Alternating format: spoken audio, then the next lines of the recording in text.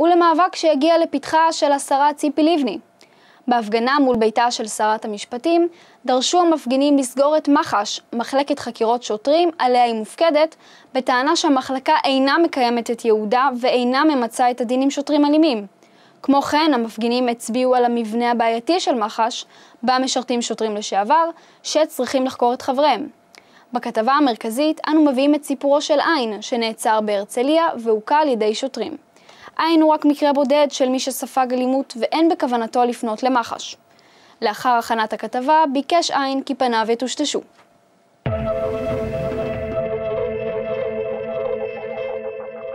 כשאנחנו נוסעים לעבודה, אנו ממהרים ורוצים להגיע. גם עין היה בדרכו לעבודה, אך עבורו המפגש עם שוטרי הרצליה הסתיים באשפוז בבית החולים.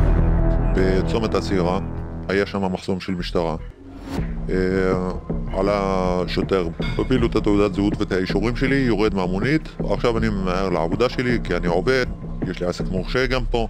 עכשיו ירדתי מהמונית והיה שם בחור שכאילו כאילו מפקד למחסום הזה, קוראים לו אלי כהן, ורק כשירדתי מהמונית אומר לשוטר השני, תשים לו אזיקים בידיים.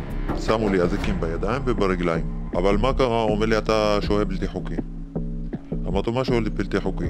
יש את האיחוד משפחה. הוא אומר לי, לא, זה לא בתוקף. עין במקור משכם, נשוי לאזרחית ישראלית. יש להם שני ילדים צעירים, וב-14 שנה האחרונות הוא מתגורר עם משפחתו בכפר קאסם.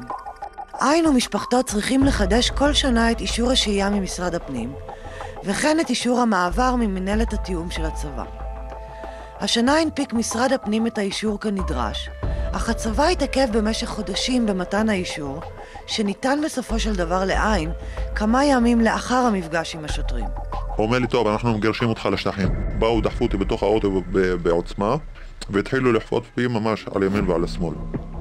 כאילו שאני שוכב ואני אזוק בידיים וברגליים, ובאמצע הדרך אני עושה לו, תגיד לי, יש, יש, יש לי ילדים ויש לי אישה פה וכולם מחכים לי. הוא אומר לי, אל תדאג, אנחנו שולחים אותך עכשיו לשטחים, וזה מאוד מאוד פגע בי.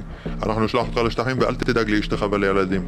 אה, אחר כך אנחנו נדאג לח... אה, לשלוח אותם אליך. כמו אלפי משפחות אחרות, בתהליך איחוד המשפחות, מתמודדת משפחתו של עין עם חוסר ביטחון ואיום מתמיד בגירוש. עין לא יכול לקבל רישיון נהיגה או לנוע בחופשיות ברחוב, והיכולת לגור בביתו עם משפחתו, שלנו נראית אולי בסיסית, מותנית בתהליכים בירוקרטיים ארוכים והוצאות גדולות. זה להסתובב עם אה, איחוד משפחה ועם תעודת זהות אה, פלסטינית. בעצם זה חגיגה לשוטר. חגיגה במובן של מכות, תעשה מה שבא לך, אין דין, אין דיין. זה פחד, זה... את לא יכולה להסתובב, את לא יכולה לעבוד, את לא יכולה לעשות כלום, שום דבר. זה לחיות בפחד 24 שעות ביממה כל השנה. היה לי מכה בראש מפה, זעזוע מוח. אה, יש לי שתי שיניים שבורים. לצערי, הילדים יודעים הכל. הם אה, יודעים טוב מאוד, אפילו שאנחנו הולכים לבלות לחוף הים או משהו כזה, אז כשרואים שוטר, אז אה, מתחילים לצעוק, אבא, אבא, תיזהר, תיזהר, שוטר, שוטר. יש עשרות אלפי משפחות שנמצאות באותו המצב, וסיפורו של עין הוא כנראה רק קצה הקרחון. בדוברות משטרת מחוז תל אביב הודו ששוטרים אכן עיכבו את עין ביום המדובר, ואף גירשו אותו לשטחים. הם טענו שעין לא הרגיש בטוב במהלך הגירוש, אך טענו שלא הופנתה כלפיו אלימות מצד השוטרים.